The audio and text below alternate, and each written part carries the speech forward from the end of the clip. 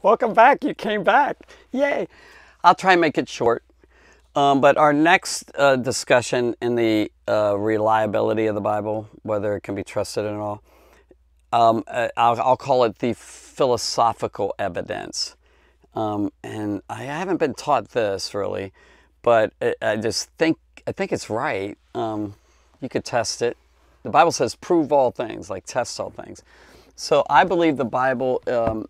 I think part of this, I put this up front first because of a reason, but I also don't believe um, that you should just go by this alone. I think it's really good to study the hard evidence and see if there, you know, if there's really good reasons for faith and things like that. Um, but I think, I think, um, I, I, think I'm okay, and, and, and I feel good about this, uh, sitting on this, standing on it.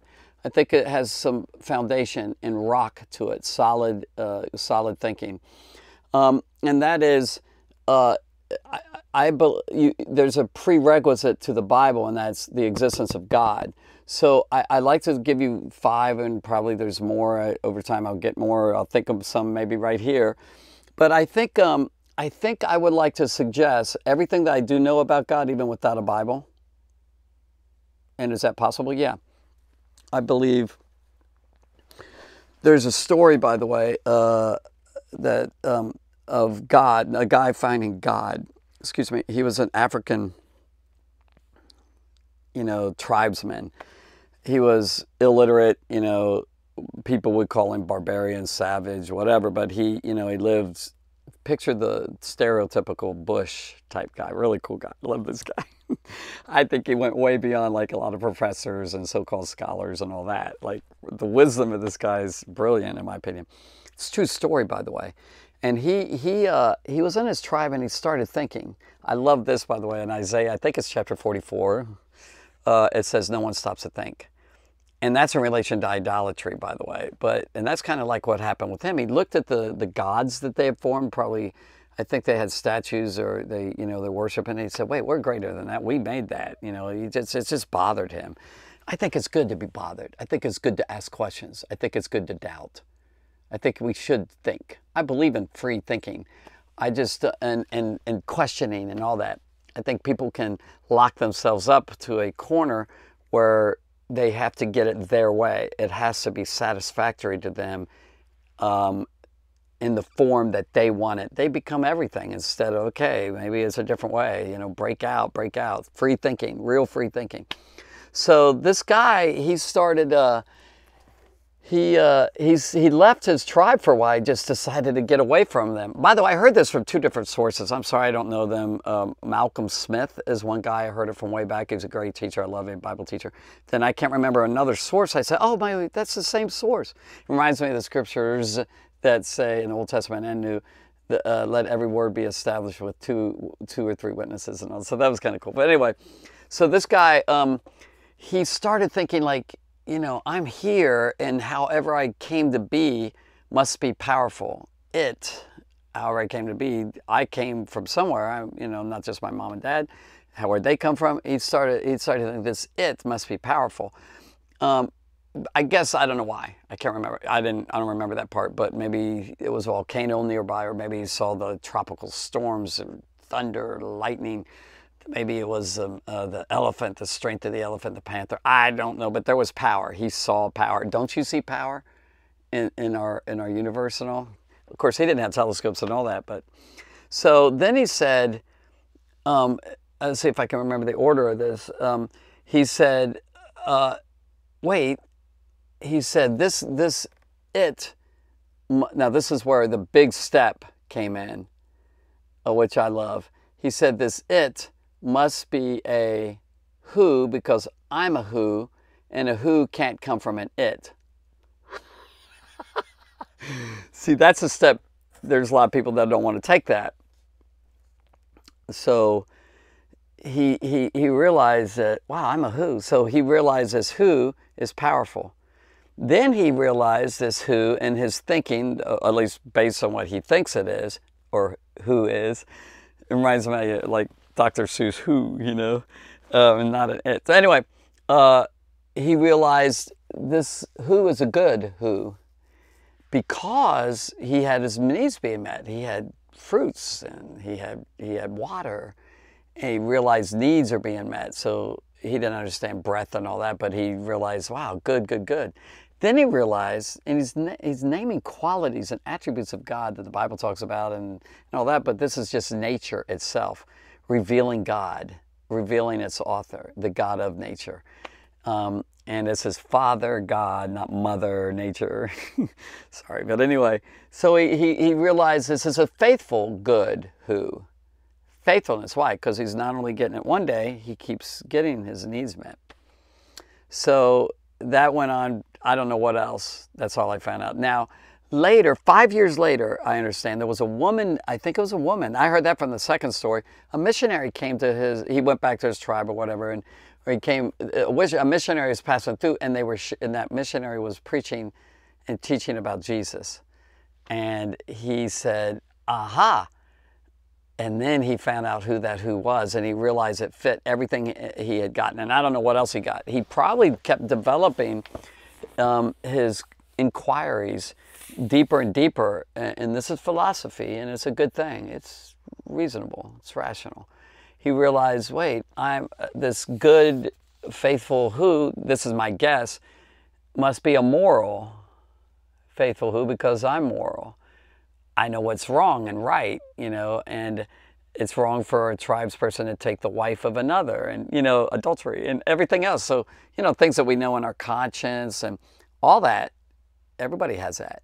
You know, you don't need the Bible for that. Now, I love that the Bible actually puts it in a print you know, like the Ten Commandments and things. Although I'm not going to go there, but I don't think that's for all. Much of it is for us today, but that's really for a specific person, a group, Israel, but Jewish people. But anyway, so you know, it's really rich um, that thinking. But anyway, so what I'm trying to say philosophically. Um, if you if you're going for the Bible, then you got to realize is God behind the Bible, or would God want us to have communication from Him. So you start realizing some things about God, for example. I could go on and on just about this, I will for a while. Um, like, if you realize that, wait, He created us, we're creatures made, of course, the Bible says we're made in His image, but let's say we don't know that. But the fact is, all us human beings have relationship. Even animals have a type of relationship. You know, so the all, some animals, you know. So here we are, uh, very, very strong. It's very important, isn't it? Family, friends, you know, work relations. So this is really important to us, very important. Uh, where'd that come from? Where was it derived? Okay, evolution. And I'm sorry, I don't mean to be attitude about it, but it's just, it doesn't fit everything. It doesn't match everything. It doesn't fit where this one really does has answered design and all that, the complexities. It shows there's a God. But anyway, so if there is a God, uh, then he must be uh, really, it must be very important. It's very prioritized on us. And why would he create all these relationships? A person, if he is a person, or she is a person, whatever, creating persons without personal relationships. So the, the, in my opinion, without the Bible, you start wondering, maybe he wants a relationship with us. I believe he did, and I think that's why he actually chose that method. Among others, it's not just written Bible stuff. He decided, I'm going to uh, really speak to man, and they're going to write it down, and etc. So we have prophets and spokesmen and seers, and and then apostles, and and then he came especially in the last days speaking with the with the Lord Jesus Christ. That's the last word. Hebrews 1 1. God, who at sundry times and in divers manners spoke in times past through prophets, has in these last days spoken to us by his Son. And there's a lot richness there and why he sent him there and all. So my suggestion is philosophically, I think God really wanted us to have a Bible. Now, if you say, well, if God wanted us to have a Bible, then the question is, has it changed over time? And if it did, then is he impotent, incompetent? Is he not able to keep a Bible through people? We say man is fallible. We make mistakes. You know, scribes writing it down, and maybe they had an agenda, you know, that was opposite of what God wanted. Well, I think there's way too much evidence in many, many different ways, and I'm not going to go through each one unless I might. I'll try. But I think there's too much evidence that this God really did have enough wisdom to choose to do it this way. He really chose it. He was very good. To, he, he wanted to show his goodness. So he's a good God. So he wants to make sure that uh, we get the right thing and all that. You know, he's righteous and good, and we're not going to be deceived. The third thing is I think he was, he's sovereign enough and powerful enough, has enough power to actually take his power and work through fallible man, infallible to fallible. All philosophy, I guess. I think there's enough evidence later. Again, you have to, it's like, this is like a murder mystery or something. You know, you find someone dead and then you find, you have to figure out all the clues on who done it, you know, that type of thing. Or this goes to anything like um, we, it's clues, are there fingerprints, clues to someone stealing something or whatever, or detectives. And I think there's not just one clue, you put them all together and you go, aha, and you get the aha moment, God. The aha moment is God. And I believe that God has a, a, is wise enough to be able to figure out how to work through us, who's fallible. And then he's, he's good enough to make sure that we get it right. And then the third one is that he's powerful to make powerful enough to make sure that we get it right. He, and also a good God wanting a relationship with us. So all that to put together. All right, let me go on. Now, I think universally everyone has to admit there's good people and bad people. Um, is now I think what happens when people approach the Bible, they come so skeptically um, that they want to believe, well, there's errors, so they have this feeling that everybody makes errors. No, that's not true. Humans that make errors don't error all the time. And there's many times, even in your life, that you had no error in a test, you A or whatever and what you say and you, you did the right thing there. And there's a lot of good things and, and you know uh, there's there's people don't always make mistakes all the time. So is it possible i'm questioning giving you a question is it possible that there were good people who wrote the bible instead of coming to him and saying uh-huh bad agenda and all that? How do you know that? I, I actually believe an innocent till proven guilty. I really believe that. Um, i think that's wiser it's foolish to do the other way, in my opinion. But at the same time, you don't want to be gullible. You don't want to take, you know, so, well, let's dig into this. And then you're, I think you'll find out that the more you dig, you'll find out these are really good people. Because how you know that? Just read somebody's letter and you kind of get a feel for the personalities or whatever. Or that these might have, these people actually might have wanted to share Jesus, for example, talking about the New Testament, uh, to the Mediterranean world. They really wanted to share about him. So is it possible that they did, oh, I want to get it right? They could have been Christians. Maybe not all of them were. Uh, but, you know, you could still copy, you know, things and do, do a good job in copying. You could still do a good job in your job because that's your job. Of course, I don't know exactly when the professional scribes came. Uh, there were people copying in the beginning. But we'll get into why the, I think there's too much evidence that we can actually trust the Bible later in the manuscripts themselves. Yeah, that's going to be really fun. But that's later. I call it the hard evidence. So this is soft evidence. So this is kind of thinking.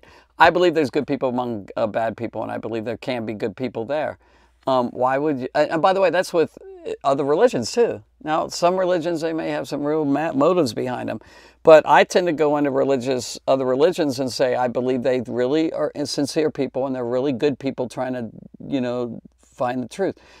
The thing is, is it right? You can't have two religions that are contradictory each other and they can't be, both be right. Either both are wrong or one of them is right and one of them is wrong. You can't, you know, they can't be both right, you know, if they're contradictory. All right, let's go on.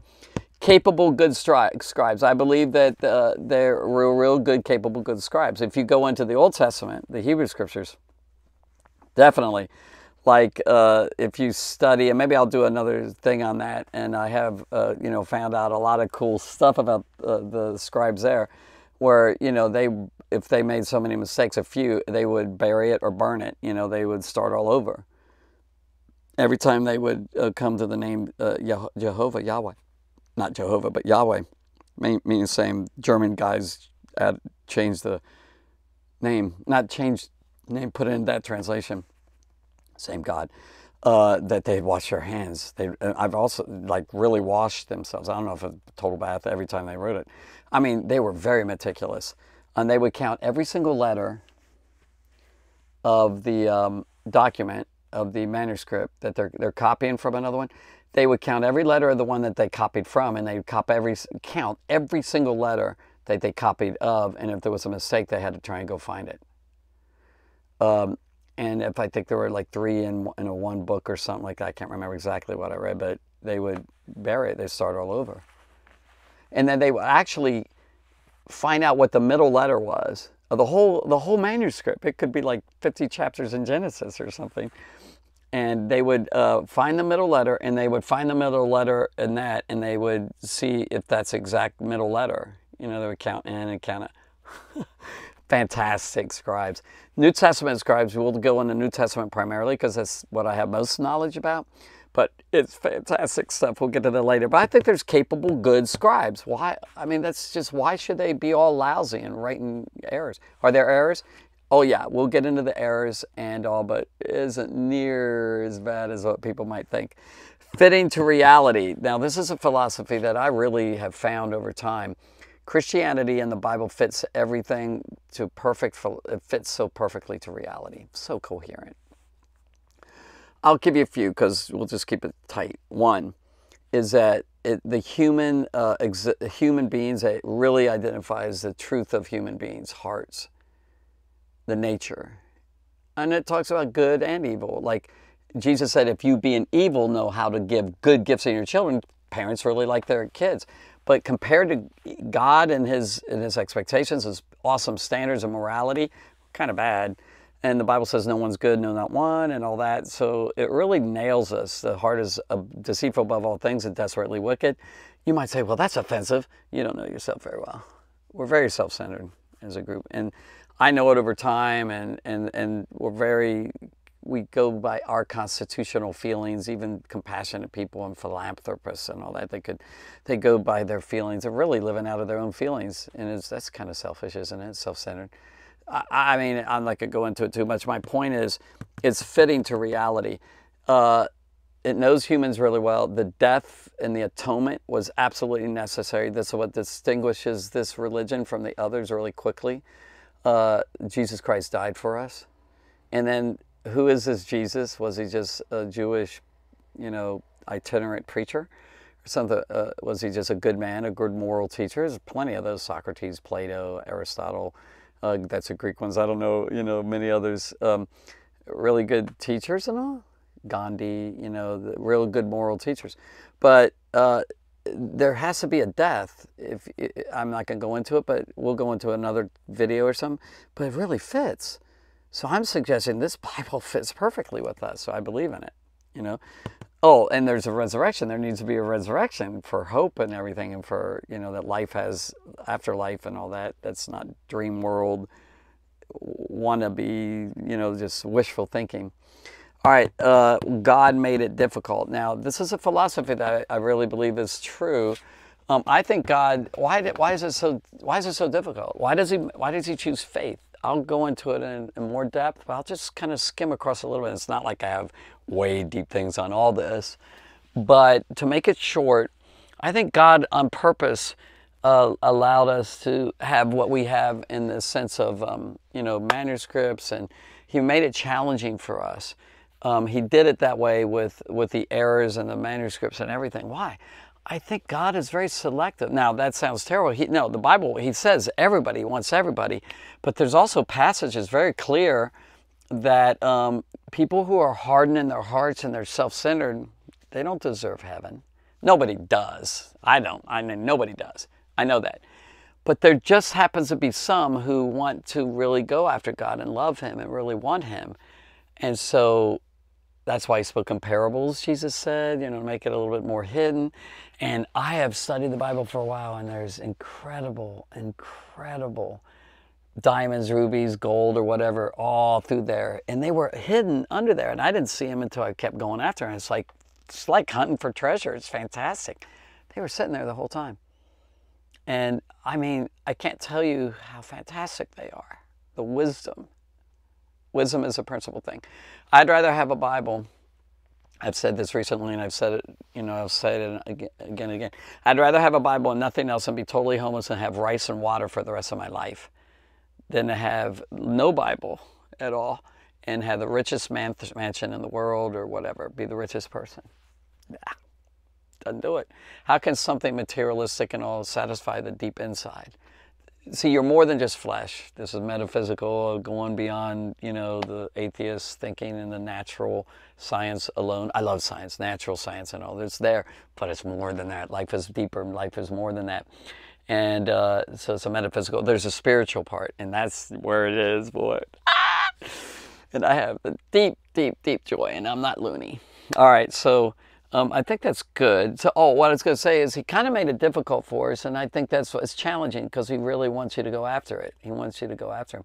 It's kind of like playing. This isn't exactly accurate, but it's pl like playing in a sense of parallel metaphor, hard to get. Because are you valuable enough for that? You, are you worthy of that? You know, I think women should be that way, hard to get, and guys should be that way. So you get the right one. You just fall for, fall for anyone, you know, or someone lower level, if I can say that for you. So I'm not arrogant. I don't. I'm not better than anybody else, uh, but I do have a desire for Him. I desire truth. I desire to really, and I know there's a God now, but I experience and everything else. But anyway, and logic. And but what I was going to say is that um, I have a real desire to uh, really know Him and want Him. I feel honored for that. Very humbled. And I would just encourage you to seek after Him. The Scripture says, "Seek Me, and you shall find Me when you search for Me with all of your heart."